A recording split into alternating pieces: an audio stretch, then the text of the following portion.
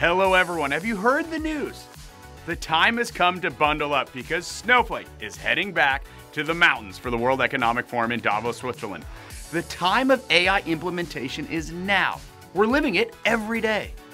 AI is changing the skills landscape. Everyone is now a data user. And with AI, data can be accessible to everyone. And true to our ethos of democratizing the world's data, it's now time to unite and come together to solve some of the world's toughest challenges.